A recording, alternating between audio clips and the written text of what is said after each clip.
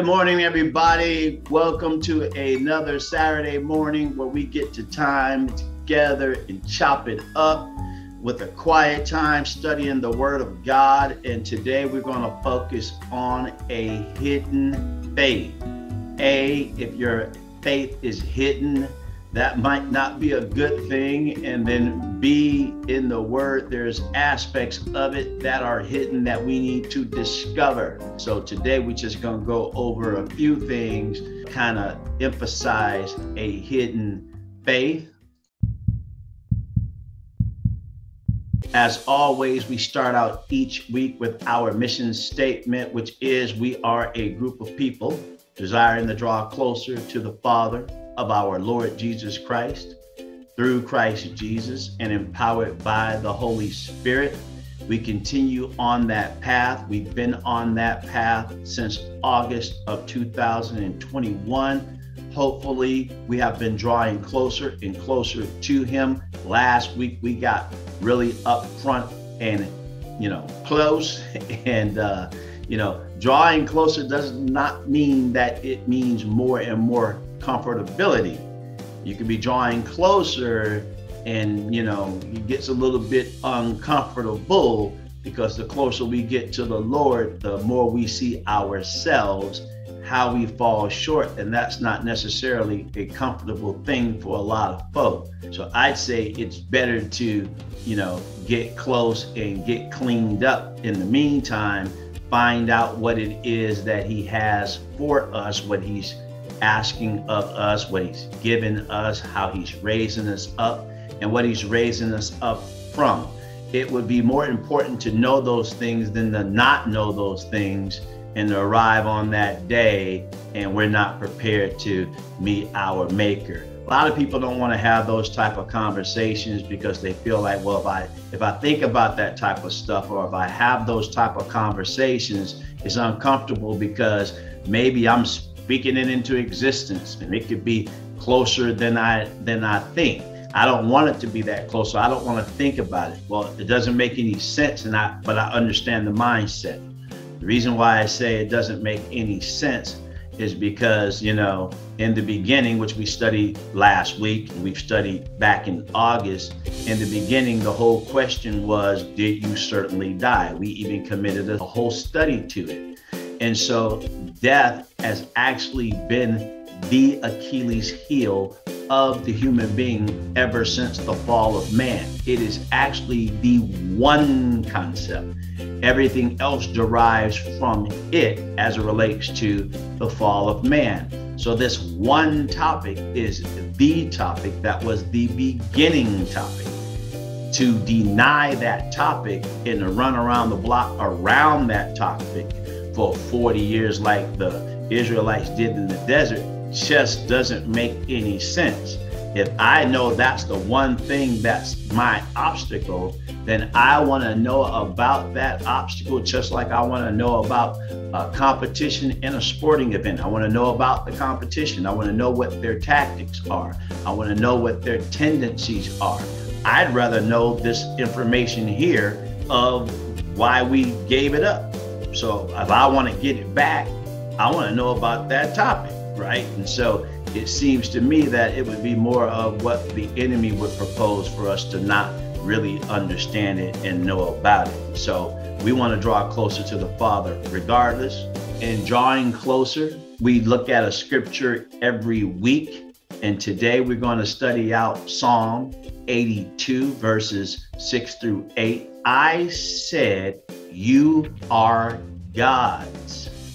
You are all sons of the Most High, but you will die like mere mortals. You will fall like every other ruler. Rise up, O God, judge the earth, for all the nations are your inheritance. Man, that is so incredible right there. We see the backpack, my man is drawing closer to the Lord, which means that would make you be able to get closer to the Father. But it says here, I said you are gods with a little g and an S. And that would be because you are sons of God. And as a result, that makes you little gods. Now, guess what? You have to have faith to accept that. You actually have to have faith because that's something that people believe it means something different than what it means, right? But it's clear here. But he's saying, although this is who you are, you will die like mere mortals. So we know if this concept of death is this enemy, and the scripture says in Revelation, it is the last enemy that shall be destroyed, right? So it's an actual enemy that will be destroyed. And so if that enemy was not in our uh, way, not in our mix, then what would we be? We'd be little gods with a little g and a little s not independent gods in and of ourselves where people need to be coming and worshiping us as individuals. We're just talking about being children of the Father. And as a result, you know, now, well, we die like mere mortals, but that's not really who we are. That's not our real self. And so the flesh passes away, but that inner being, that real self, is actually the little God son or daughter of the Most High. But because we're in this flesh, because of sin, fallen man, you will fall like every other ruler. So he's going, a ruler has no precedent. So it doesn't really mean it, it doesn't, we don't, God's not saying, I don't care how high you are. I don't care at what level you are on this earth. I don't care how much of a countryside you rule, how much power you have you will die like every other ruler. And so he's telling you right there don't go praising men, don't go praising women as a result. But in verse 8, he says, Rise up, O God, judge the earth. Okay, so there's been these debates. I see people kind of looking at me when I say Jesus was the one rolling in the garden and Jesus was the one rolling with Moses. And even though I end up showing the scriptures that kind of clarify it, it's still a little bit harder to swallow when traditions have told you that that was not Jesus and Jesus is only Jesus when he came into the flesh as a baby through Mary and that's the only thing people know about Jesus even though John 1 completely contradicts that vision, people still roll with that for whatever reason. However, in verse 8 here, this is Psalm. This is Old Testament. Well, you tell me, how is God going to rise up if he's already the most high? He's the most high. Where is he rising up from? Jesus is the one who rose up. So who are they talking about? Is this scripture talking about the Father? Rise up, O God, judge the earth, for all the nations are your inheritance. How the nations going to be the Father's inheritance? He can't inherit the nations. Who are you going to inherit the nations from? Scripture is common sense when you shed traditions or falsehoods and things of that nature and just read the verses for what they say and really pay attention to detail on what they're saying and seeing does this way I'm thinking, does it make any sense? Right. And so you'll have people say, well, rise up, oh God, means it's just, you know, God rising up against the enemy. Okay. Then explain your inheritance. Like how God inherited something he created. you know what I'm saying? That's the son. That's why it says, I said, you are gods. You are all sons of the Most High. We know we can only be sons of the Most High if we're grafted into Jesus Christ, who is the Son of the Most High, who is the God who rose up, and who is the one who inherited all the nations. As he says in Matthew 28 18 and 20, all nations, right, have been given on to me. So it is clear from Psalm 82, 6 and 8. It is clear from John 1. It is clear from Matthew 28, 18, 20 that Jesus is the one that is running the show.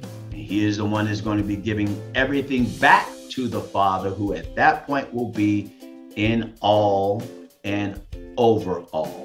So as Jesus says, he and the Father and we in Jesus. All right. We start out each week with a prayer. And today we're going to focus on Colossians chapter 4 and verse 12.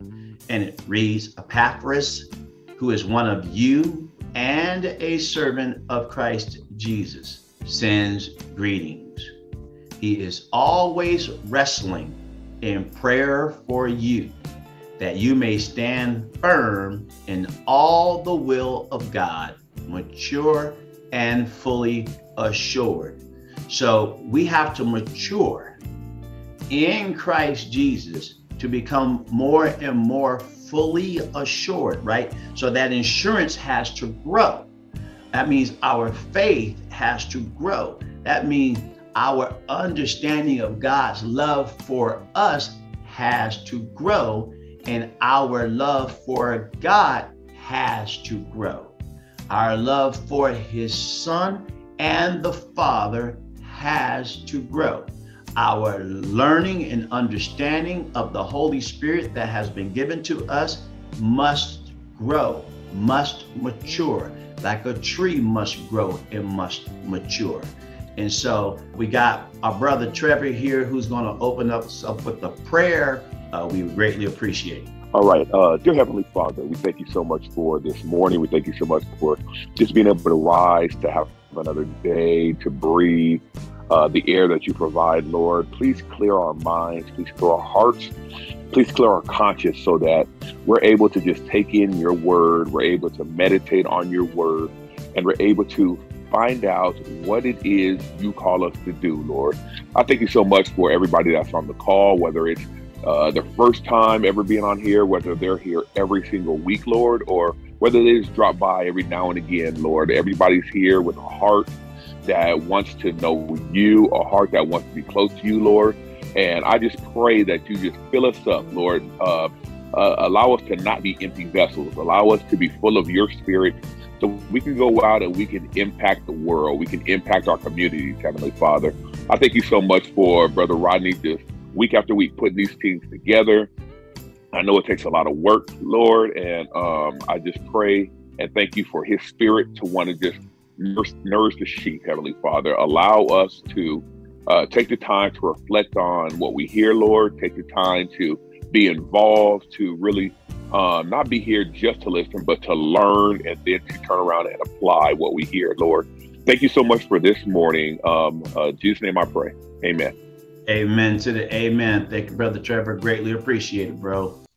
All righty.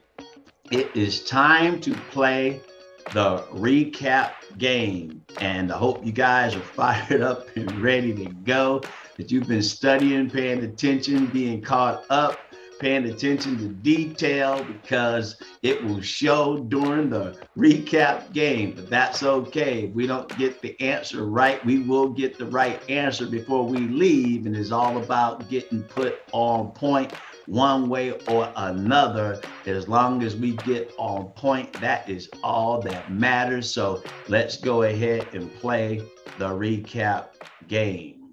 Question number one What did the angel say about Eden's restoration? Was it A, in the middle of the garden stood the tree of life? B, do not eat from the tree of the knowledge of good and evil? C, on each side of the river stood the tree of life? Or D, on one side of the river stood the tree of life? What did the angel say about Eden's restoration? Was it A, in the middle of the garden stood the tree of life? Okay, who says it was B, do not eat from the tree of the knowledge of good and evil? All right. Who says it was C, on each side of the river stood the tree of life? Yes, sir. I'm going with C. I'm going with C. All righty. And who says D, on one side of the river stood the tree of life? All righty. The correct answer is C. On each side of the river stood the tree of life. That's a big deal because back in the Garden of Eden, before the fall, right, in the middle of the garden stood the knowledge of good and evil and the tree of life. So there was two trees in the middle. But this time in the book of Revelation chapter 22, it said on each side of the river stood the tree of life. That's a big deal. Question number two What did the angel say to John when he fell down to worship at his feet? Did he say, A, you are well favored and blessed? B, don't do that? C, praises to God for your humility? Or D, all that is left is your financial contribution? What did the angel say to John when he fell down to worship at his feet? Who says that he said, A, you are well favored and blessed? All right. Who says, B, don't do that? Said B. All righty. Who says C, praises to God for your humility? I say C. I'm gonna go with C. All right. Who says D, all that is left is your financial contribution? All right. The correct answer is B. He said, don't do that. you know, that kind of, te- for me, that tells me the angels are kind of cool because you would think that an angel would like have this really profound answer, you know, hey, please don't bow before me. I am the angel. I'm not Jesus. You know what I'm saying? He just don't do that. That's pretty hip. All right. Question number three. What can those do that are given the right to the tree of life? Is it A, go through the gates into the city? B, wait for the gates to be opened? C, knock on the city gate? Or D, drive their new car around the city to show their friends? What can those do that are given the right to the tree of life? Who says A, go through the gates into the city? I say A. I say A. Yeah, A. I think I'm thinking A. All righty. Who says B, they can wait for the gates to be opened? All right. Who says C, they can knock on the city gate? All right. Who says D, they can drive their new car around the city to show their friends? All righty. The correct answer is A, they can go through the gates into the city. Wow, because we're gonna have the name of the Father on our foreheads. We got that VIP ticket running around with the Holy Spirit that was deposit that was guaranteeing us the right to get up in that city.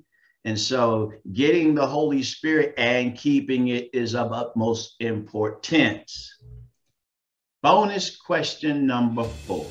Jesus said that he sent his angel to do what? Was it A, listen to your church doctrine. B, decide if this is the right message for your church. C, gain conviction for your testimony. Or D, give you this testimony for the churches. Who says that Jesus sent his angel to A, listen to your church doctrine? All right. Who says B, decide if this is the right message for your church. All righty. Who says C, gain conviction for your testimony? Yeah, I'm gonna go with C. Alrighty. And who says D, give you this testimony for the churches? I said D. I'm going with D. All righty. The correct answer is D. Give you this testimony for the churches. Come on. So that means all the churches that are claiming to be a church related to Father God, Jesus Christ, the Son, and the Holy Spirit, and all the heavenly hosts have to have this testimony. Can have a different testimony because this was the testimony for all the churches. Incredible. It helps us to understand that truth because it helps keep us on point. And, you know, doesn't mean you might be in the church and it might not be on point with the testimony. Then if you have, if you're on point with the testimony, go help those in your church to get on point with the testimony, right? So whoever has the testimony, make sure that everybody mm-hmm. else is on point because the church is not the building. The church are the people that are in the building. The church is not limited to the people in the building because you are a temple. So it's those that are housing the Holy Spirit of the Lord wherever they are. And that testimony, therefore, must be a testimony of the heart. All righty. So y'all got game. Thank you so much for playing the game. Well appreciated. And uh, it's always good, it's fun, it's exciting, but it's serious business at the same time. So we can gain a conviction about what is being said. It's not always about the memory as it's about the conviction. And when we have the conviction, the more we are convicted, the more we will not necessarily remember, but the more everything will make common sense to us because it's starting to make spiritual sense. So, amen. Thank you guys for playing the recap game. All righty, here's the map, and it's the new map that we've come up with for several weeks now. And you see the ledger to the top left. The black is death by disobedience. The blue is saved by faith and grace. The white are the prophets. The red, apostles. And the purple are disciples. And to the right, we see that the black is the law. And so we see if the black on the right is the law and the black on the left is death by disobedience. They work hand in hand. We see the blue is faith, and we see the blue on the left, saved by faith and grace. They work hand in hand. And then you see below that gray, and that's mixture. And you don't see it matching anything on the left. Well, we will describe that here in a second.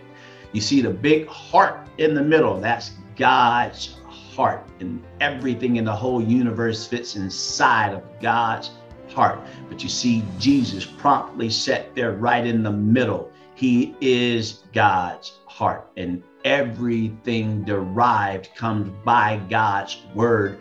And Jesus is the word of God. So we can't say we love Jesus and doesn't and we don't love the word doesn't make sense. To the left bottom, we got Adam 1, and it's in black. And why? Because because of Adam ushered in death by disobedience, right? Being disobedient, eating from the tree of the knowledge of good and evil. And that's what the law is. It's the knowledge of the good and evil. And that's why you can't be saved by it. We see next to Adam, Abraham, Moses, and Joshua. They're all in white they are prophets. They're not all the prophets, they're just three prophets as it relates to the promise of grace and faith and the law. Abraham received the promise.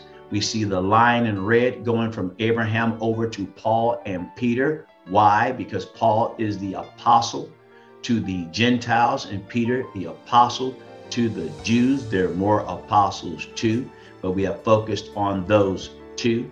And we see that Moses and Joshua are in white with the law above them because Moses ushered in the law. He didn't get to see the promised land, and Joshua continued to lead them through through to the promised land, but still with the law. Between the promise to Abraham and the law that Moses brought forward is 430 years. The New Testament explains that the promise that was given to Abraham could not be set aside by the law. Those were two different covenants. The promise covenant is first, the law covenant was second. The law covenant nobody could fulfill except for Jesus. And since Jesus is the only one to fulfill it, and he is the high priest in the order of Melchizedek, and as high priest, he has the right to bring in the priesthood he wants to bring in. As a result, he brought in the priesthood based on the promise and did away with the requirements of the law because all fall short of it other than him. So only by the law would there be one. Jesus. But because he brought in the promise and he used the promise to basically give us faith and grace, we are now deemed righteous by faith. And that's the faith that Abraham had, as his faith was credited as righteousness. People say, well, that's going to give people a license to sin. That's not understanding the power and the works of the Holy Spirit that is supposed to give us a heart of gratitude. And by being grateful, we want to do the right thing. But being in the flesh, we fall short. We show the bottom prophets in white, disciples in purple, and apostles in red. Above the disciples, we see gray. Above us, we see gray. That's called the mixture. And that should not be there. It should be only the blue, being saved by faith and grace. But disciples then, during Jesus' time, disciples during the early church, and disciples today struggle with the mixture. It is because although we're saved by faith and grace, they're still being held captive by the law, trying to be made righteous by the law. And you can't be made righteous by the law. There's nothing you can do. Your best work are but filthy rags. And as a result of that, one sin, just one, deems you unrighteous, a law breaker. So we need faith credited as righteousness. That removes the gray. All righty.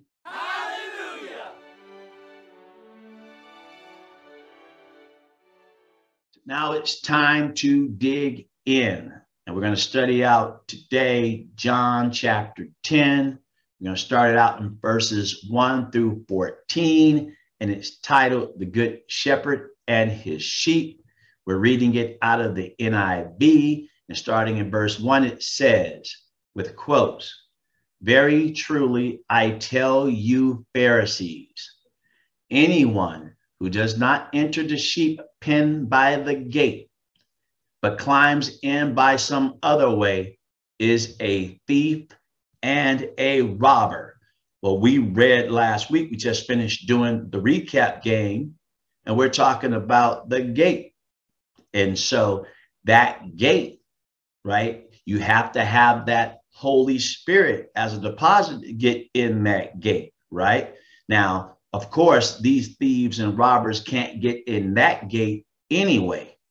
However, he's basically saying, right, because your purpose of going to a ministry, your purpose of listening to religious talk, your purpose of serving, praying to God, and doing all that we do in our gratitude and service to Him is that we will get into that gate.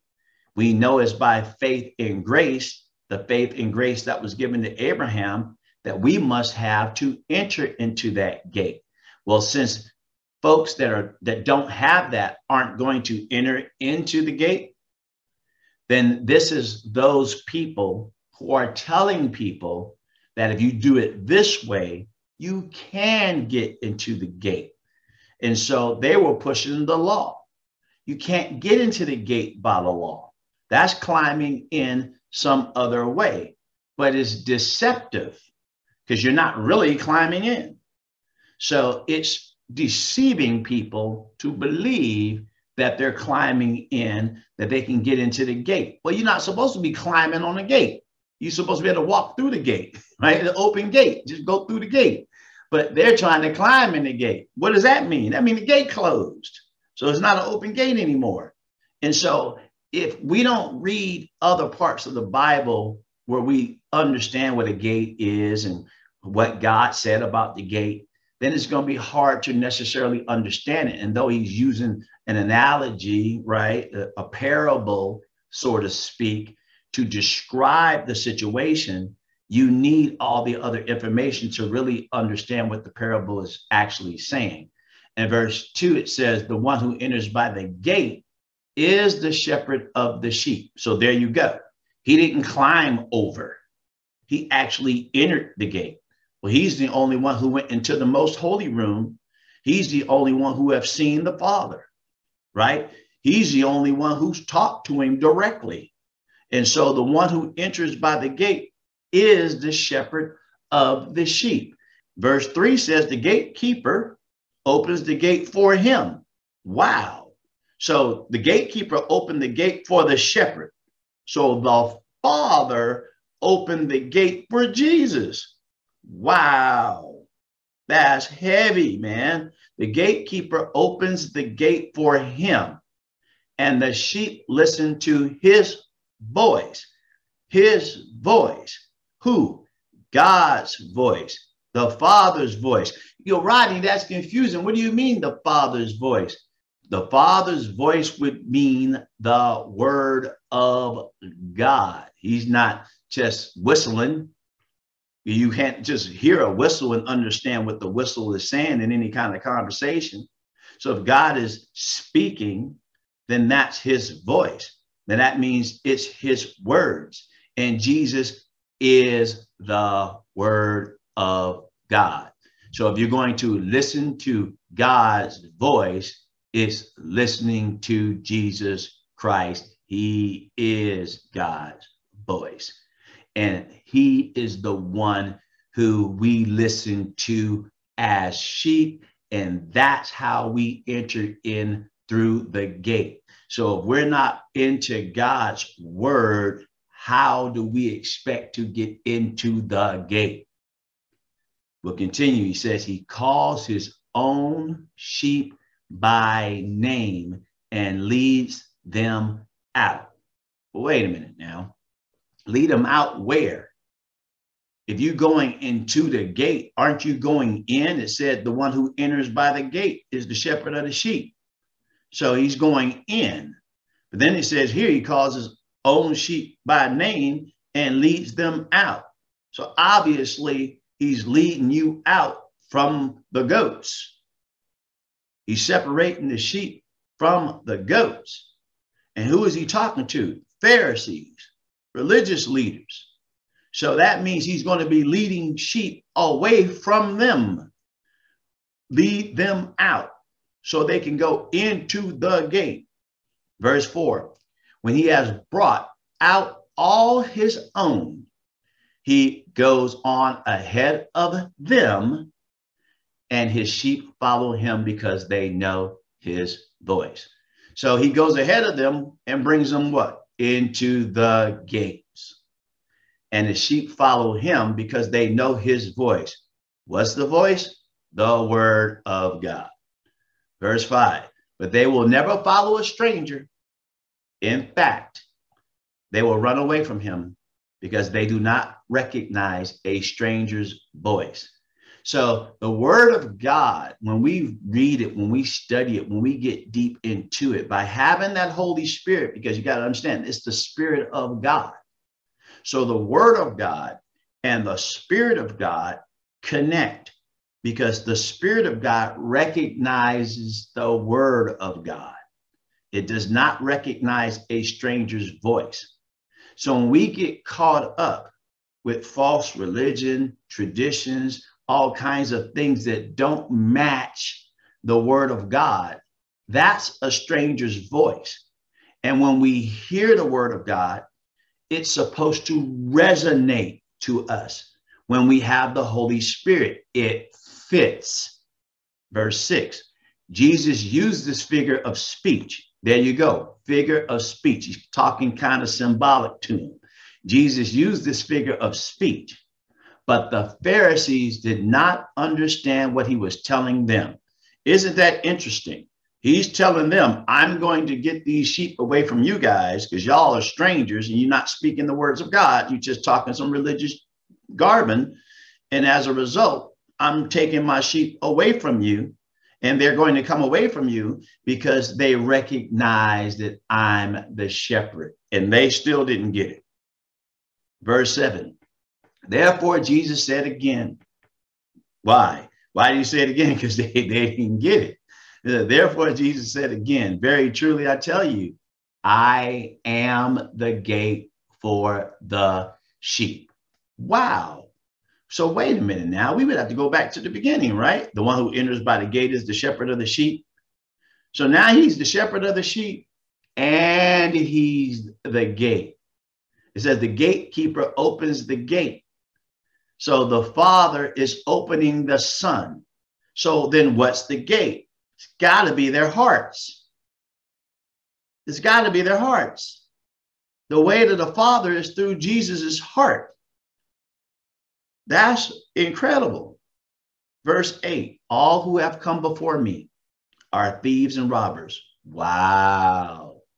He said, Everybody, all who have come before me are thieves and robbers. I know people, you know, we like to feel good about ourselves and think we're doing something pretty cool and, and that we, we're okay people. We're not that bad. And then Jesus just comes out and says, you know, it's some humility. You know, you guys are a part of fallen mankind. You do know that, right? You do know that when you're born in this planet, you you have flaws. The the moment you born, right? You come into this joint with flaws. You do understand that, don't you? And so as a result, you shouldn't be getting all bent out of shape when Jesus comes at you and calls us something that technically that's what we are because we're fallen. We fall short of the glory of God. And so when our standard is what's in the world and we standardize things based on the level of the world, then you end up, you know, hey man, look at the Pharisees and well, I'm gonna compare myself to that situation. But then God comes over there and says, look, I'm I'm a hundred thousand zillion percent pure. Like I, none of that, none of them thoughts you guys have. I don't even have those thoughts. Like that, then you start to realize that to, to him, right? So you're, you're judging me. I'm not judging you. I'm just reading the word. We're talking about the one who's the gate. Is compared to him. Compared to him, this is who we are. So all who have come before me are thieves and robbers, but the sheep have not listened to them. Well, then why have they been coming? If they haven't been listening to them, why were they showing up? How could the Pharisees be the, it wasn't like the Pharisees had a, a ministry going for five days only. These guys been rolling for a while. He says, all who come before me, the, the priesthood from Aaron and all those boys, they had run for a while. You go, well, man, they can't be talking about them. Look here. Moses didn't make it right? Because he got upset and didn't do everything God said. So he didn't get the role all the way through. but He showed up on the Mount of Transfiguration. Uh, I don't have any doubt that he was, you know, saved by faith and grace, not the law. But you know, that's the that's he was the most humble guy in his time. And Aaron was the priest. And Aaron, when Moses didn't come back for a little bit, Aaron over there with the folks building the golden calf. So, you know, this is at the top of the food chain spiritually at, at, the at the time. So how could we say that thieves and robbers are not the program? Right? What do we what are we basing stuff on? If we base it based on the reality of the history of the word, then we can start to see clear more that you know the person that's saying this is Jesus Christ. So the sheep have not listened to them. So that means they were just going through rituals. They were just going through it. They weren't paying a whole lot of attention. They just doing something that they were taught to do by traditions. Because if they were listening in reality, they would have been able to de- uh, determine they weren't saying the right stuff. And then Jesus to come back and say to, you know, Nicodemus, are you Israel's teacher? Like, because you're not making any sense. So when you really pay attention and pay attention to detail and really study this stuff really th- thorough. And by the power of the holy spirit we can see when stuff doesn't make any sense. And that's my goal on doing these studies. At any rate let's continue. In verse 9 he says i am the gate. Whoever enters through me will be saved. There it is. We have to enter through him. We have to actually go through Jesus Christ. That means through his heart. That means in his love, right? That means when he gave his life for us, so he became like us, so we could become like him. We have to actually enter through him to become like him, they will come in and go out and find pasture. Whoa. Go come in and go out and find pasture. Okay, I, I will save that one for another day, but that's pretty heavy right there. Okay, that's pretty heavy right there. We know the gates, all right. And he going, they're going in and out. I, I'm asking freedom in Christ on mind blow level that you got that those type of abilities. Okay, that's a little bit deep. Verse 10, right? So the thief comes only to steal and kill and destroy. Wow. All who came before me are thieves and robbers. But the thief comes only to steal and kill and destroy. Well, death came by disobedience, and that was ushered in by the serpent. So therein lies your thief. So he came in to steal, kill, and destroy. Steal man's authority on the earth, Adam and Eve, mankind. That means both man and woman, Adam and Eve.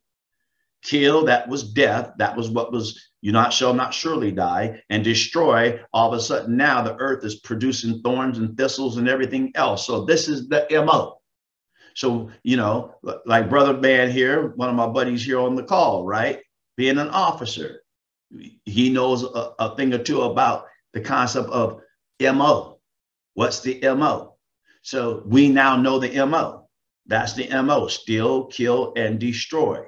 And so when he says, everybody that came before me with thieves and robbers, he's telling us that this is who we are. We go, no, we're not. He goes, anybody who says, brother be cursed, Raca is guilty of basically murder. So mentally, right? Spiritually, and some points, some people physically. Even Moses did that before he got called up, right?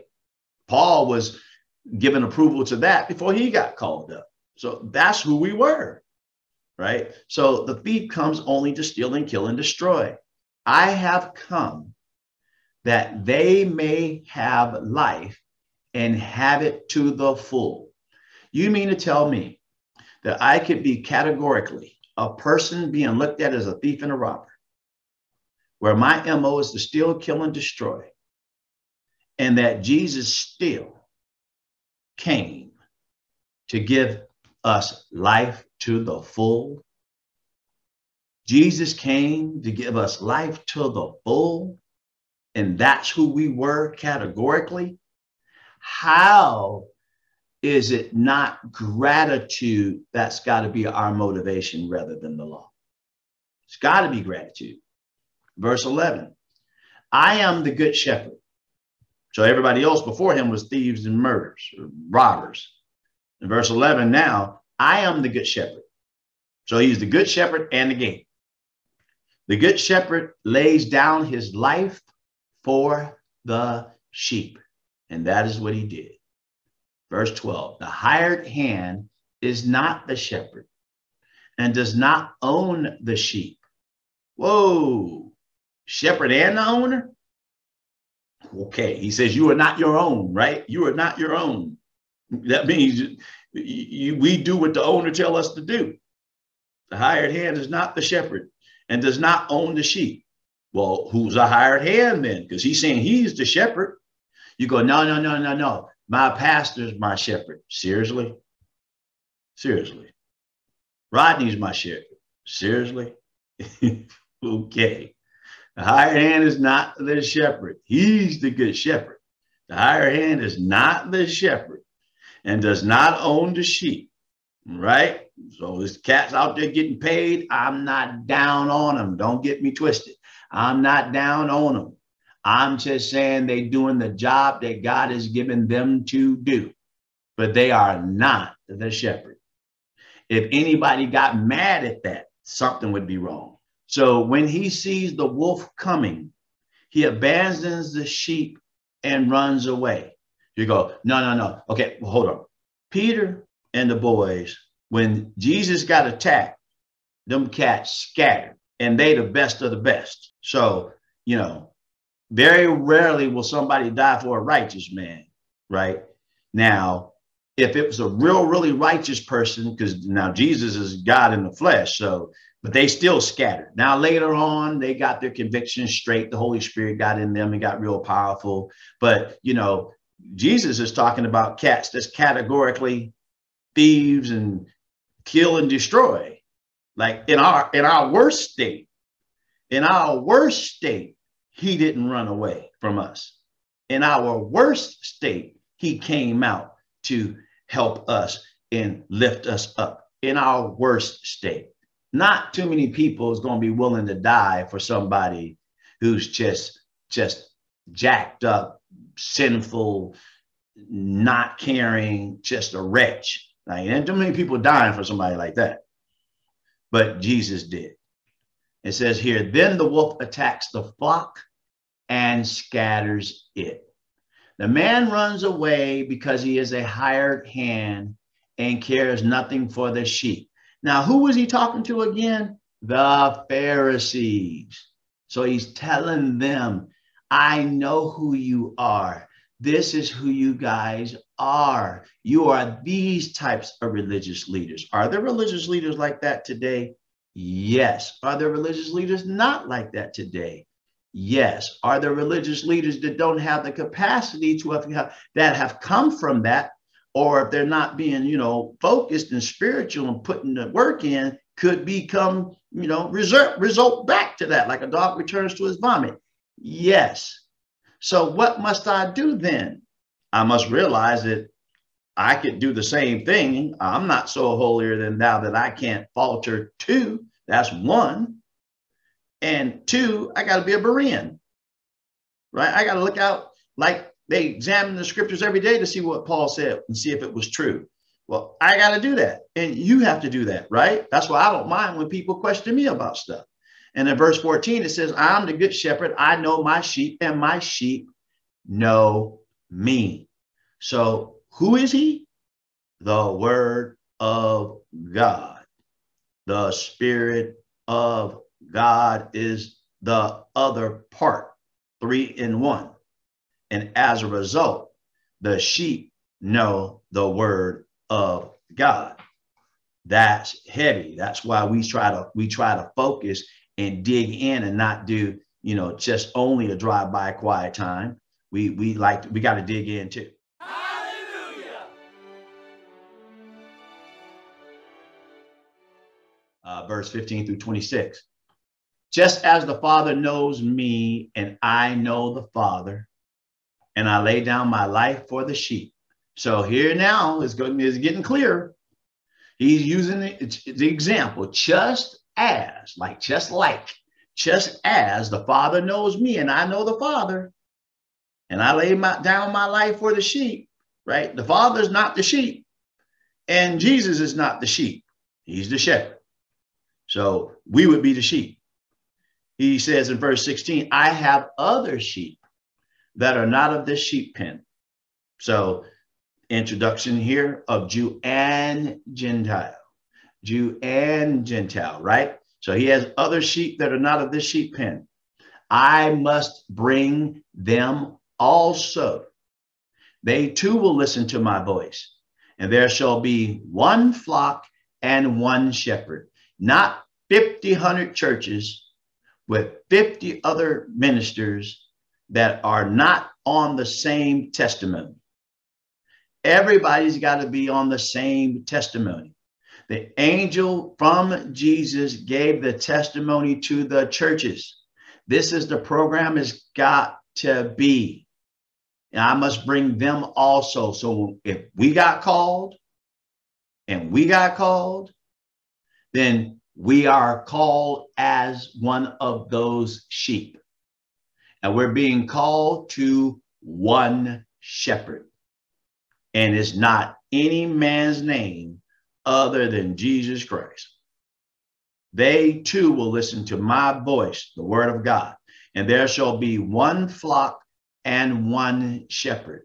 The reason my father loves me is that I lay down my life only to take it up again.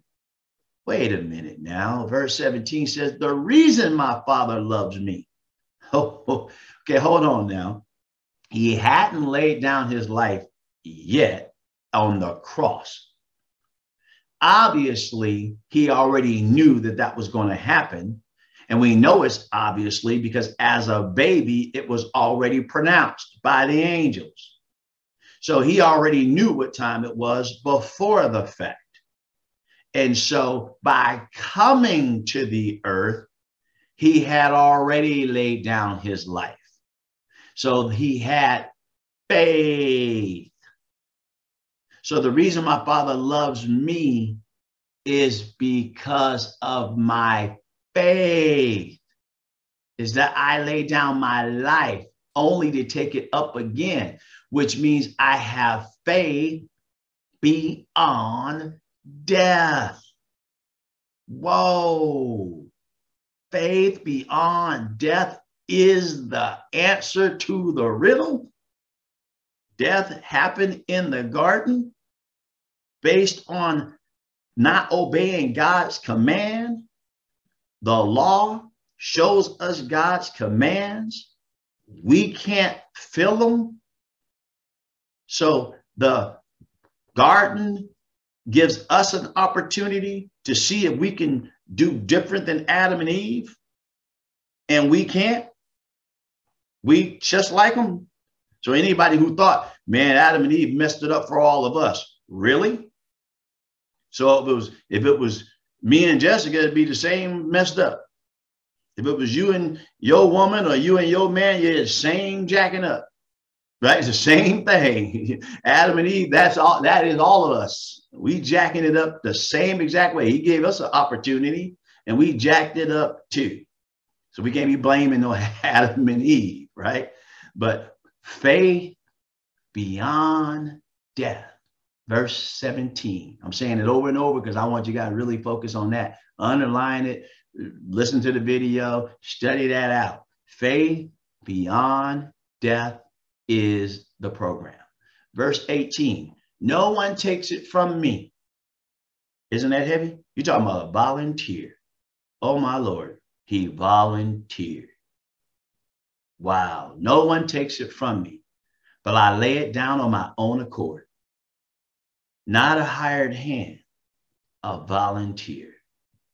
I have authority to lay it down and authority to take it up again. Well, that means he didn't lose his authority after dying on the cross. His authority remained intact. But wait a minute, Rodney, he was separated from the Father. He took on the world's sin past, present, and future. He became drenched in all our filth, and yet his authority was not removed. Faith is the authority. This command I received from my Father. So faith isn't a command. Verse 19 The Jews who heard these words were again divided. Many of them said, He is demon possessed and raving mad. Why listen to him? Now tell me, what did he say that was come anywhere near remotely close to being demon possessed? And so, what obviously the people saying that was demon possessed, right? He is demon possessed and raving mad. Why listen to him?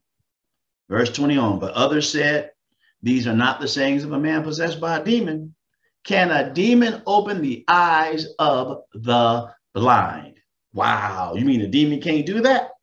Well, let's look back now. Let's go back now. See, we think these conversations are just happening in that moment, but these conversations are all geared toward the beginning of Genesis in the garden because it says, then they realized they were naked. But that was darkness. That wasn't opened eyes. They could not see. The tree of life was taken away. So they couldn't see. So it's something that my dad always says they can't see for looking. I can't see for looking. You, you might have 2020 eyesight in the world, but can't see spiritually. That's heavy duty. And so a demon can't open the eyes of the blind to see the truth spiritually. Verse 22 Then came the festival of dedication at Jerusalem. It was winter. Hey, it's winter now. That's cool. And Jesus was in the temple courts walking in Solomon's colonnade. Verse 24.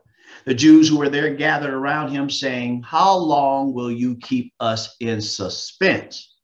If you are the Messiah, tell us plainly. Now, he's been plainly telling them, but if they're not focused on Genesis, they're, they're not focused on uh, uh, the law, they're not focused on the history of the prophets and all, that's why they can't see it plainly. But he's pretty much talking plainly. In verse 25, Jesus answered, I did tell you. Well, there you go. I did tell you, but you do not believe. And so it's hard to understand because of a lack of faith. The works I do in my Father's name testify about me. What? The works I do in my Father's name testify about me. Well, how come the Father's name as a quote unquote name isn't being mentioned nowhere in these passages? But then he's going, the works I do in my Father's name. Well, he says, I have the authority to lay it down and the authority to take it up again. So the acts, the activity, the actions is the name. Because back in those days, they didn't just give a person a name just based on the name. Hey, I'm gonna name this kid uh, Bob, but just because I like the name Bob. What's the reason for it? I don't know. I just like the name Bob. They didn't do it like that, right? When they named somebody something, it had a meaning to it right? When God said, name him Jesus because he will save his people from his sins, right? Yeshua means basically the same thing, saving the people from their sins. The works I do in my Father's name. So the authority that my Father has. If I had a signet ring and I showed up and I got the signet ring of the king and I said, hey, give me those four horses over there in your stable. Well, what do you mean give you these four horses in my stable? What name do you come in? You show them the signet ring. Oh, hold on, let me hurry up. I'm probably sorry. I'm sorry. They go get the horses.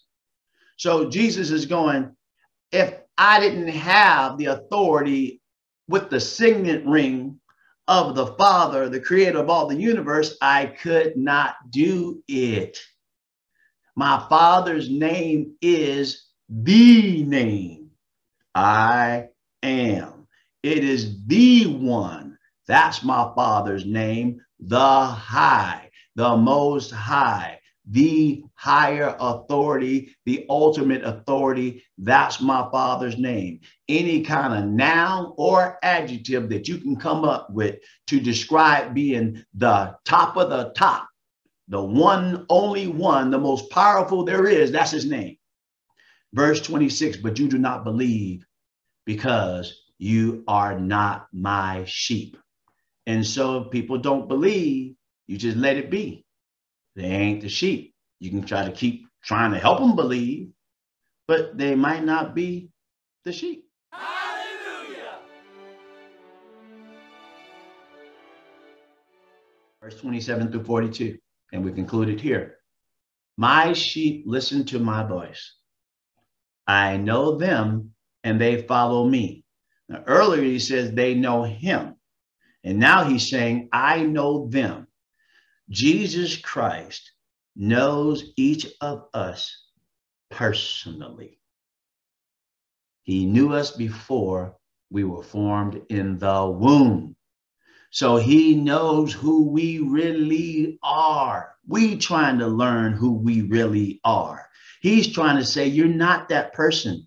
That's not who you really are. No, that's the earth person. That's the person where you were born and your family's name and everything else that was around you. That, that but that's that's not the actual person. That's not the person I know. That's why he named Abram, changed him to Abraham, right? You know, changing names, Sarai to Sarah. He's changing names. Change uh, Peter's name from Simon to Peter, right? We got a different name. We, we not, not, might not know what it is today, but we, he knows who we really are. And so we follow him, right? We follow the Holy Spirit. So keep in step with the Spirit. Then we follow the word of God. We're on a path. Verse 28 I give them eternal life. Not uh, wait a minute, it doesn't say that, right? It doesn't say I give them eternal life. It says I, it says we earn eternal life, right? No, I give them. That's the gift. A gift I give them eternal life, and they shall never perish. There's the death concept. There's that death that's plagued mankind since the fall in the Garden of Eden. So if he's going to give us eternal life and they shall never perish, and obviously, like we studied last week in Revelation 22, we got the tree of life. And so we have to have faith in it today. So if you have faith beyond death, then you shall never perish. No one will snatch them out of my hand. Nobody has the power, the strength, the magnitude to take us away from Jesus Christ. Verse 29 says, My Father who has given them to me. So it's a gift from the Father. We're actually God's gift. You know, people say, What do you think you're God's gift to mankind? You go, yeah, Well, kind of. kind of, right? Because my Father who has given them to me is greater than all. So we're a gift from the Father to Jesus Christ. No one can snatch them out of my Father's hand. I and the Father are one. So they we we can't be snatched out of the Father's hand, and we can't be snatched out of the Son's hand. And so if the words on the scroll were written with a hand, well, it was written with the power of the Father's hand.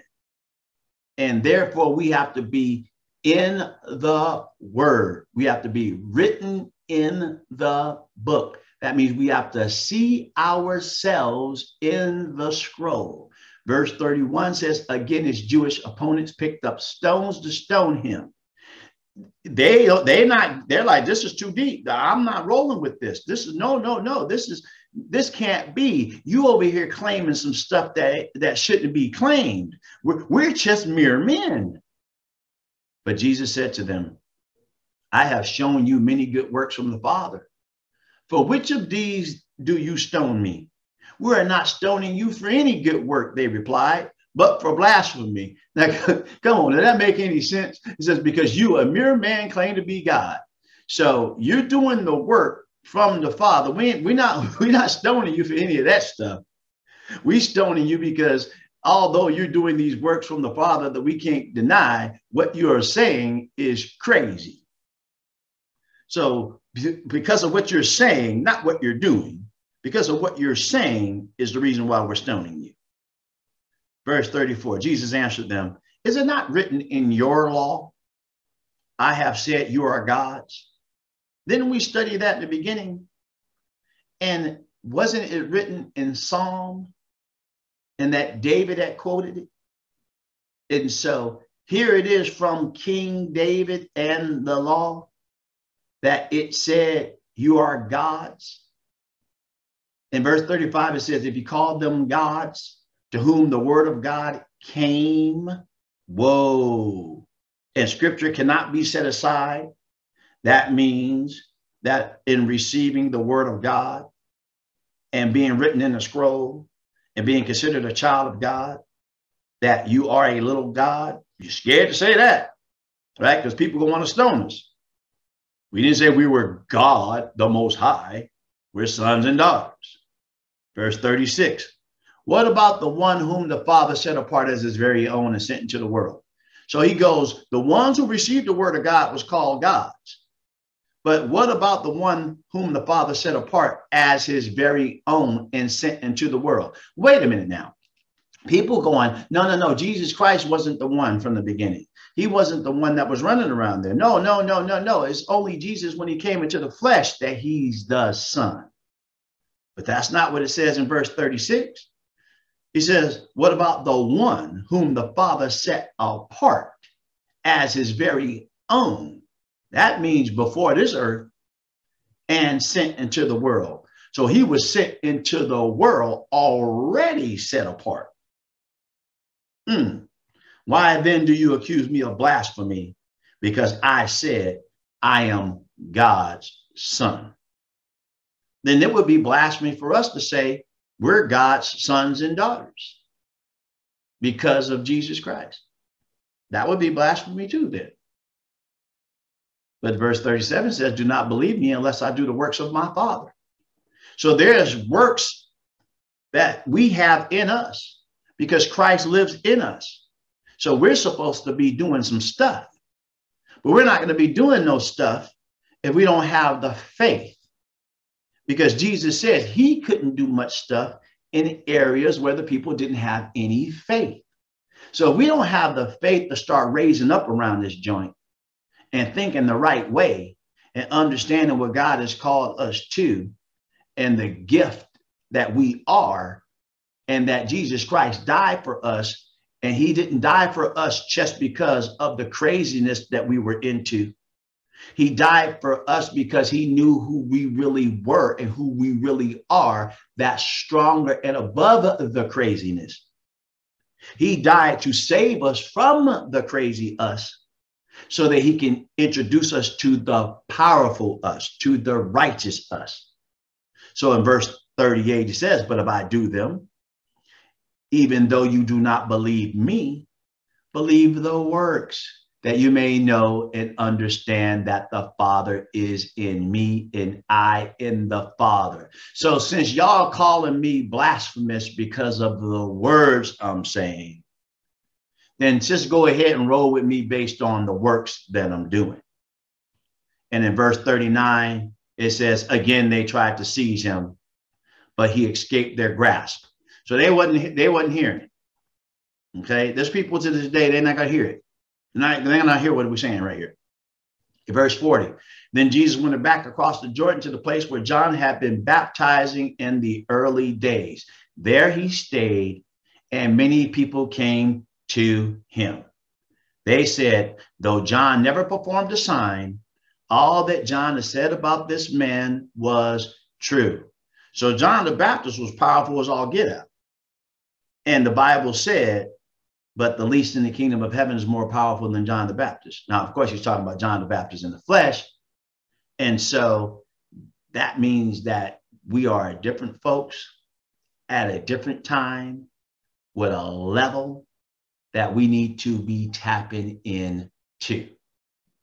And in verse 42, it says, And in that place, many believed in Jesus.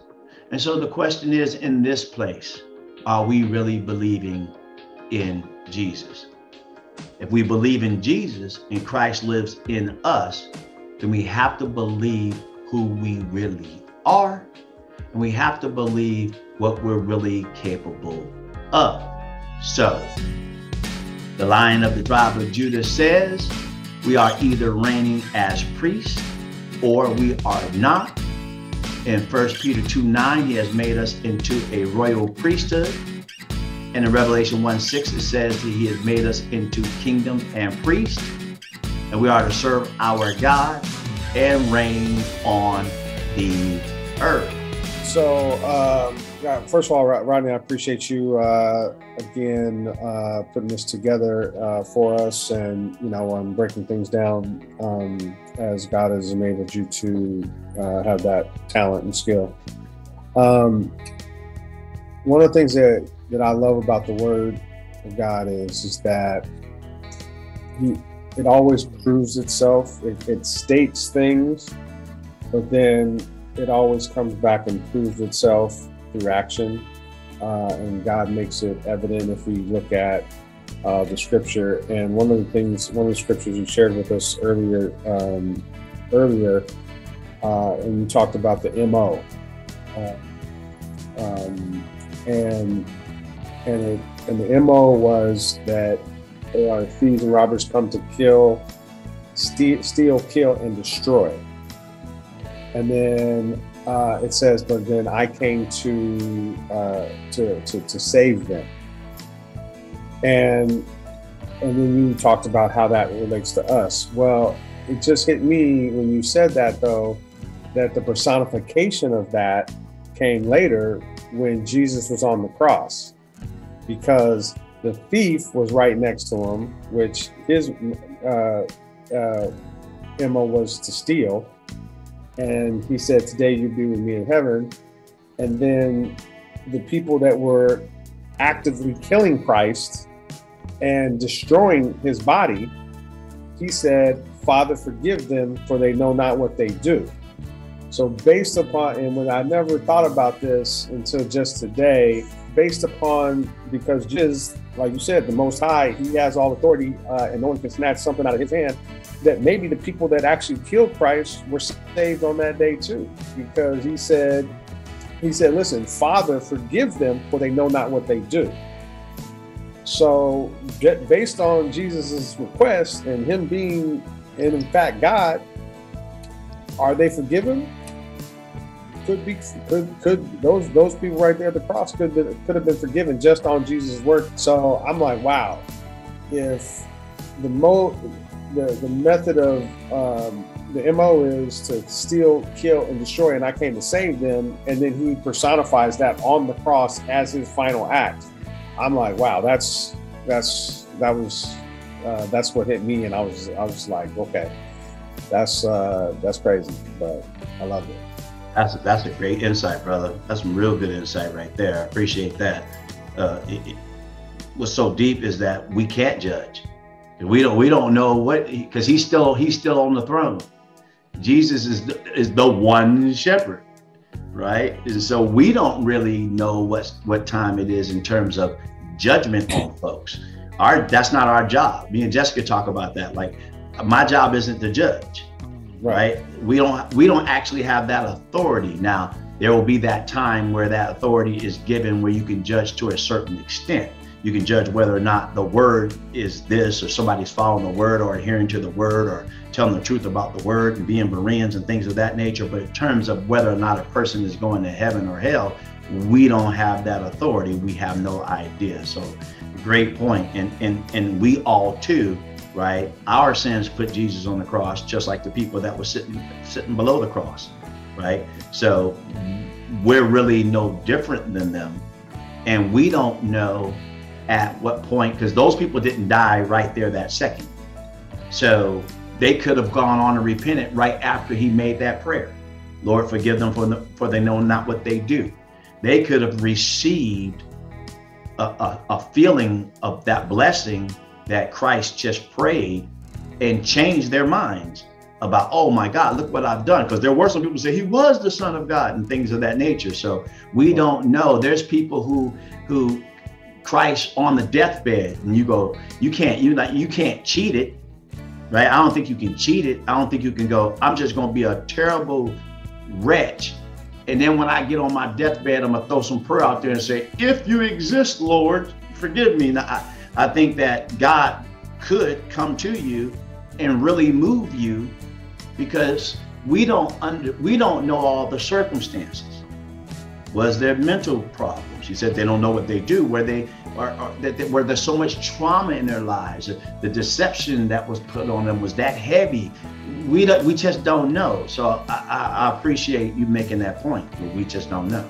Yeah, and the other the other piece of that is is that we don't know what what God's purpose is for each individual, you know. So, you know, his purpose for those people, you know, was he had to die on the cross.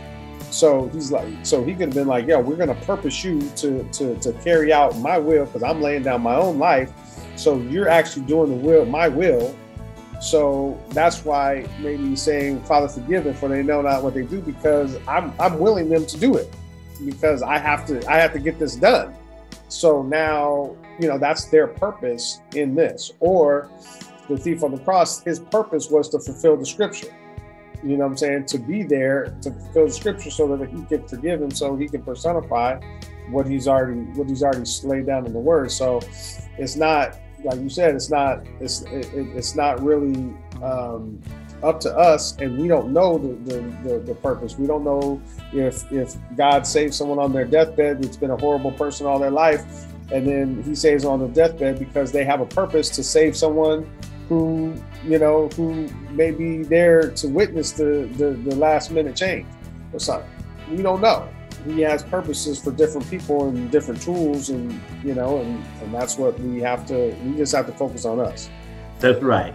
Hey, the, the, the, the short, quick, and simple answer one shepherd. Amen. Amen. Uh, well, first off, I just want to uh, say thanks, Rodney, for uh, doing this. I know I haven't been present. Uh, I've been on a different work schedule, so it's uh, easy for me to attend now. Uh, but I guess one of the underlying themes with um, what I've heard today is um, the idea of faith, and faith, granted, I'm paraphrasing, obviously, but faith being, in essence, the way.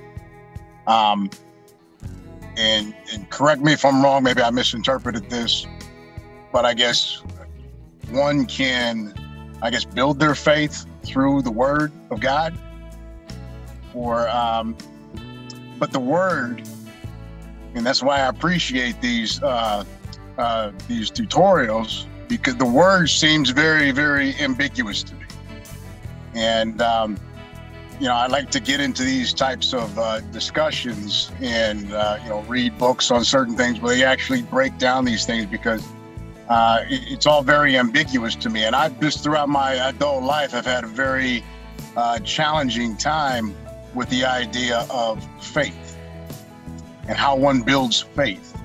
And I think you and I had this discussion several years ago. Uh, I can't recall what your response was, but I asked that very question. I said, "How does one build faith?" The key to building faith is experience. It's experiencing the Word of God in action. It's going to be harder to build faith by just only reading the Word of God without actually the, applying it. That would be like reading the instructions on how to build a couch or a chair, but not actually doing it. And then when you build the chair, according to the instructions, you go, oh, voila, the chair is built. And there it is. It's the same thing with the Bible. So Jesus told them they were sweating him about the words that he was saying. And so he's going, okay, if you can't go by just reading it, understanding what I'm saying, or accepting it that way, then do it based on the works that I'm doing. So it's the same principle for us. If something is happening the key is to find that what's happening in the Bible and then seeing what Jesus says about that versus just random. And then whatever the word says that's going to manifest based on that particular scenario, see if that's what happens. And then that's how you start to see that the word is living and active, that is actually a person because John 1 is in the beginning was the word, and the word was God, and the word was with God. And then the word became flesh. So the words in the Bible are actually a breathing entity, a breathing person, which is Jesus Christ living right now. So the question, first and foremost, is I got to get to the point where I believe that he's actually living right now, that he's active and he does, you know, he's doing everything. He's he's controlling the ship because it said one shepherd. So if, if it wasn't one shepherd, then he would have gone, and there will be another shepherd, right? Some other kind of shepherd. But he's saying no, there's only one shepherd. That's it. So he already said, and then you too will not perish. So he's saying he didn't die. So he's still the one shepherd. So as a result, everything in that word has to prove itself as itself because he's the prover. It's the person. So I read it and I go, okay, Jesus, you're saying that this is who you are, this is what you do. Then you start looking for it. Let me see if that's what happens. Let me see if that's how it goes down. Let me see if this is what's in place, positive or negative. Because there's stuff in the Bible, he says, if you don't do this, you don't do this, and you don't do this, this is what's going to happen. Are you talking about seeing if it really happens in your own personal life or based yes. on okay. It's got to be your personal life. Because if somebody else do it, if somebody else shows their lives and they're doing something you didn't experience, you're not going to know whether or not uh, it, it, it's 100% Jesus or not. Because then the intellect starts to kick in, right? You could be like, well, I don't, you know, that could be this or that could be that. So then you got to test, you, you got to have your own faith. So you go, okay, Lord. So the first thing you got to go, do I believe that God is real and do I believe that Jesus Christ is the Son of God? And then you go, okay, Lord, I want to do this. There's a guy that prayed in the Bible one time. He says, I do believe, help me with my disbelief. So he was like, I, I my disbelief is me being, well, I'm just shaky myself. There's something hindering me, and I know that. So, Jesus, help me with my disbelief. Help me to overcome this obstacle that's in my life that's holding my faith down. And now Jesus said, okay, let me go working on you. Now the thing is, that's not just, you know, that's just not fun and games. Because now you open up the door to him doing whatever is necessary to show you that his word is word. And that could be, you know, the greatest high or the craziest low. You might want to be a little bit specific, but but Lord, make sure it's something that I can handle a little, you know, give me a little bit, you know. Well, that that's kind of sort of my point though. You know, so I'll use your example of the lowest of lows. You know, so you get in the lowest of lows and and I'll only speak for myself, but I imagine this is indicative of some others. But in the lowest of lows, I imagine sometimes that's when folks' faith seems to wane the most because it's like, why am I in the lowest of low right now? And and so I guess what I'm asking is how does one keep faith in those times? Because that's what I've struggled with over the years. Not that I have issue believing that God exists or that He is the Father and in His Son, in His Son Jesus Christ, but it kind of stops there sometimes.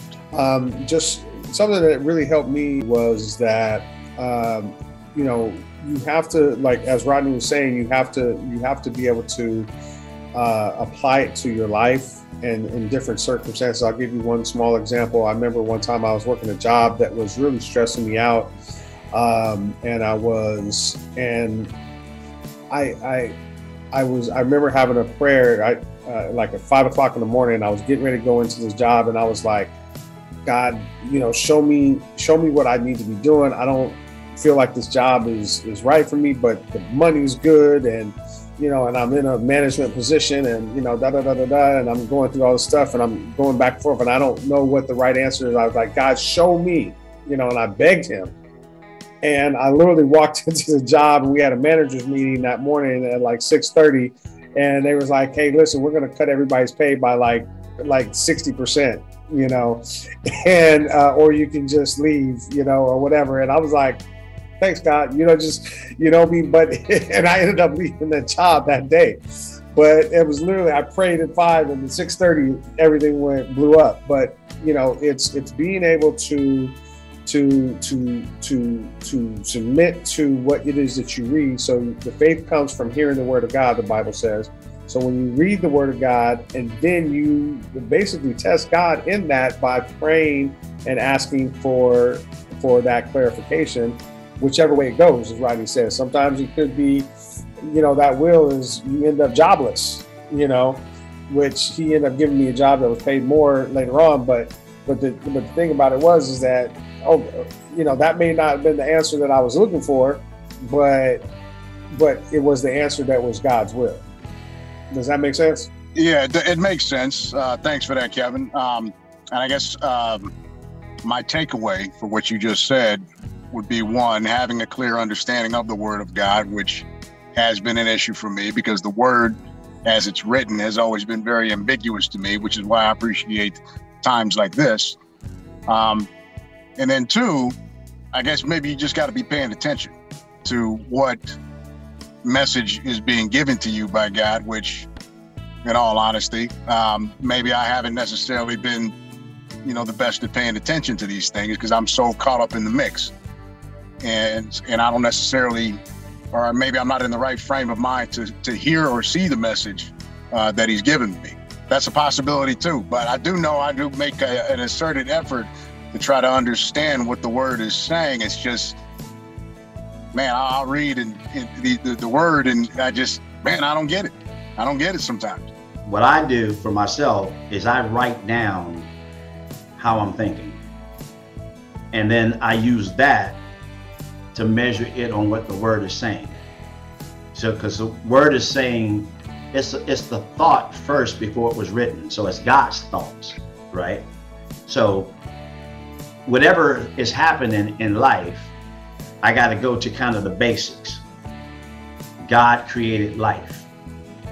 So that means life in and of itself has a rhyme and a rhythm all by itself. So, how I think about a subject in life, he's already had the thought on that and he created that life.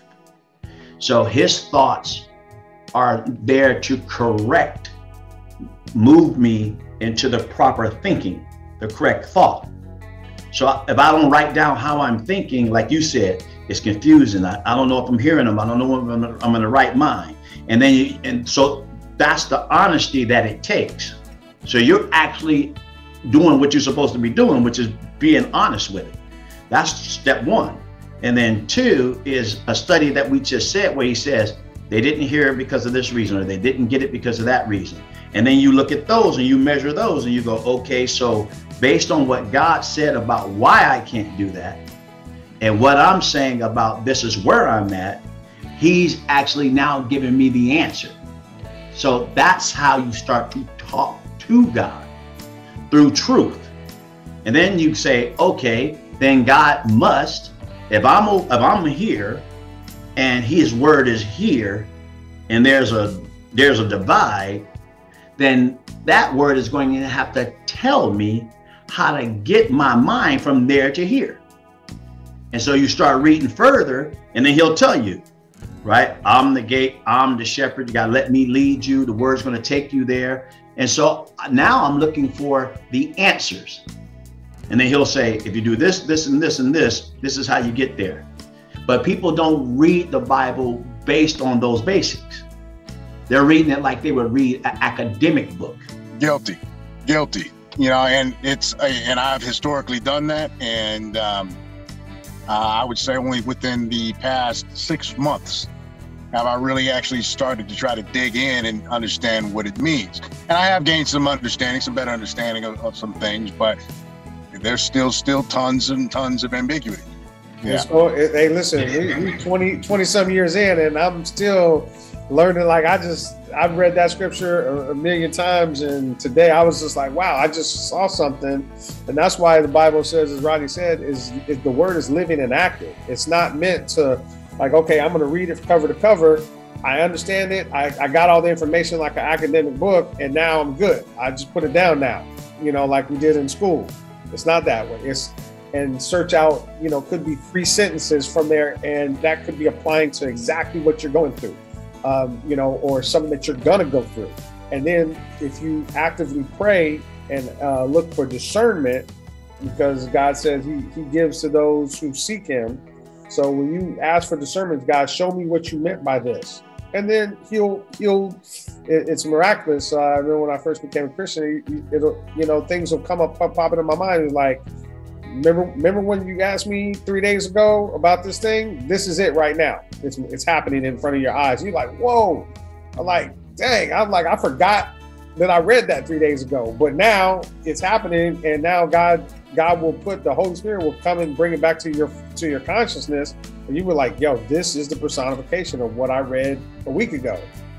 And then you're like, that builds your faith because now you're like, okay, that wasn't just a random scripture that I read. He was prepared. He, he knew already that this was going to happen a week ago, and now it's happening, and I understand it. And that that only makes you hungry to get more into the word because you want to know other stuff. When we read something academically, we usually can get it like it's not that big of a deal. There might be some stuff that's quantum physics or whatever the case may be, but there's stuff out there that you know, for the most part, you read something, you can get it. This is, the words are not very tricky in the Bible.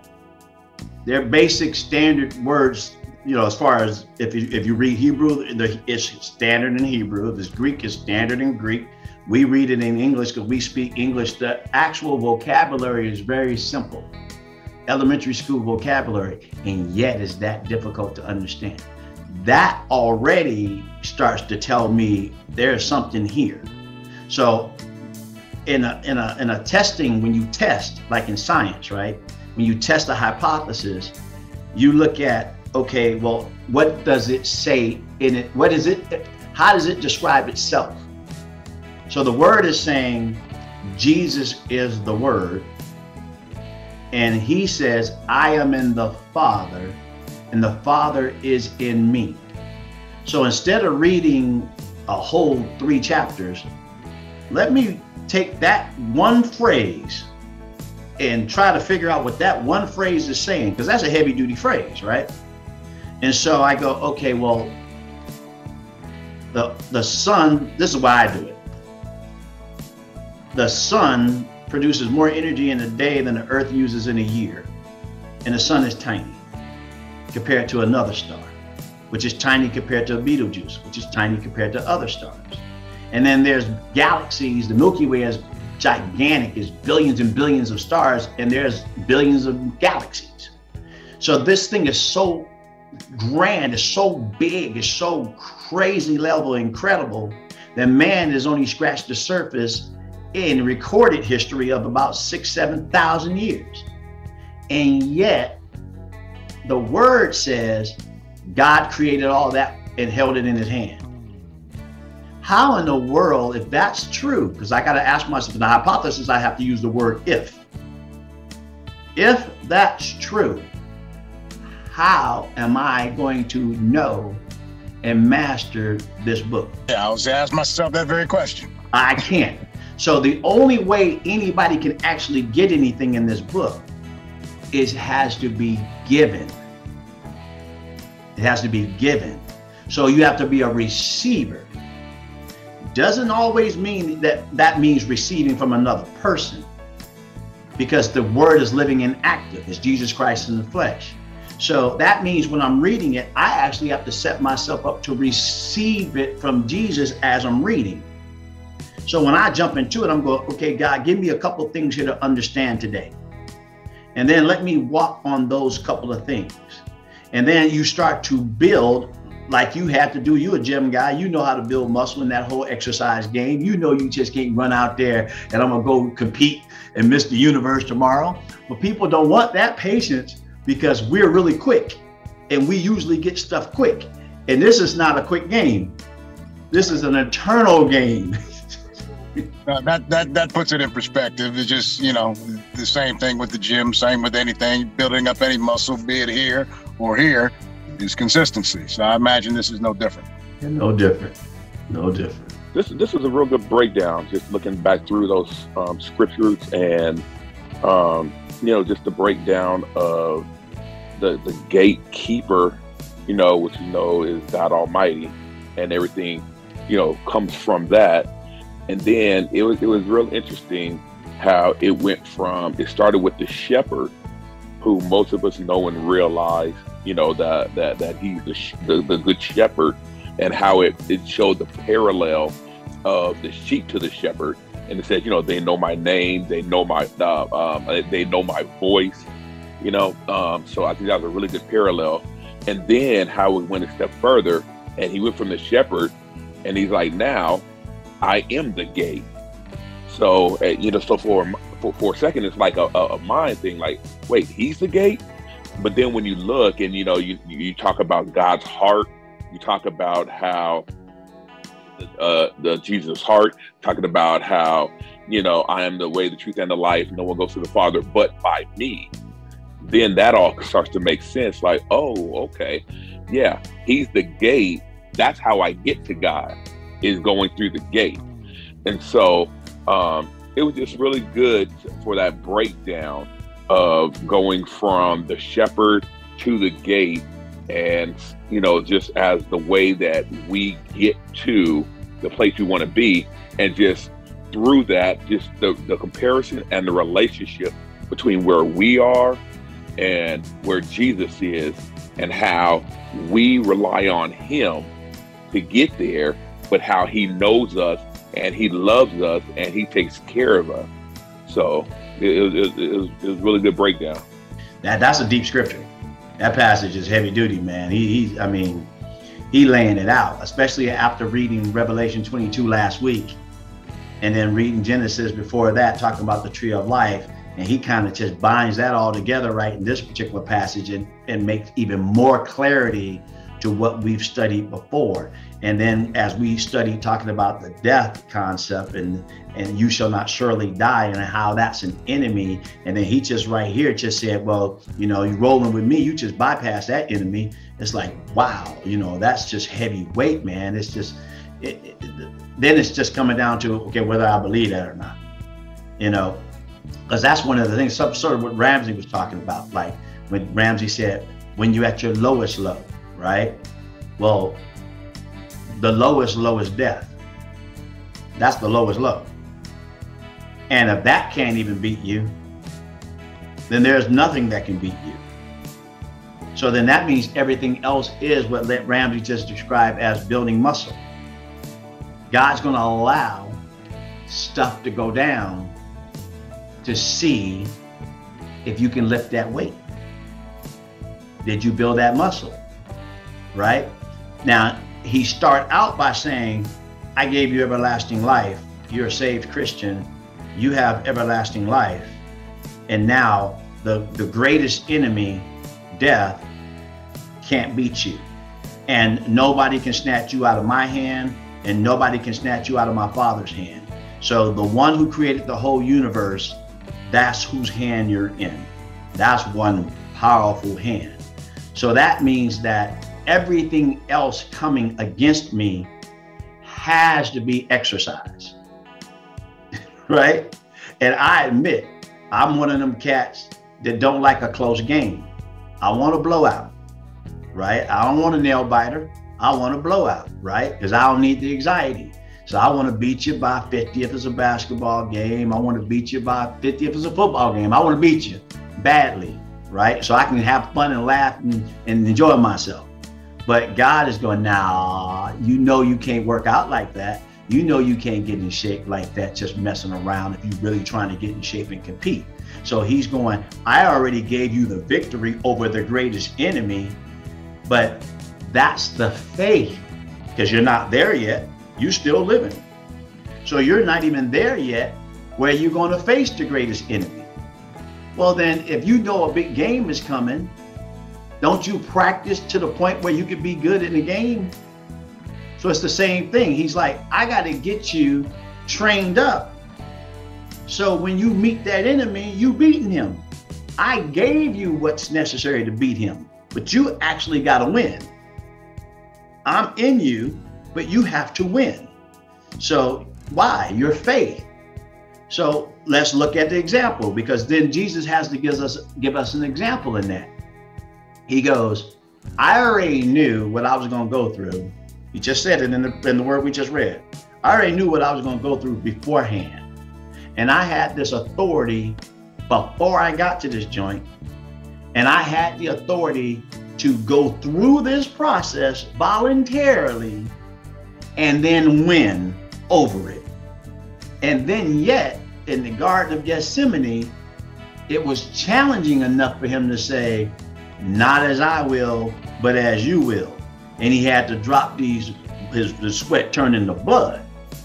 So he's showing us the victory over this last enemy is not an easy one.